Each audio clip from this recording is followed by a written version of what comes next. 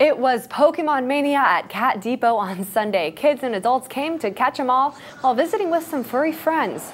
The depot hosted a tournament for players and teams to battle it out for bragging rights and a cash award. Cats adopted during the tournament went home with an extra prize.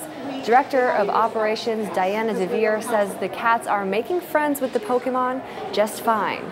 They're showing up everywhere. Our oldest cat here is Carmen. She's a three-legged tortie. And one day we're just working along and there she is, showing up with a Pokemon right next to her. So they can show up anywhere that they are. DeVere says the depot has a large selection of cats ready to find their forever home.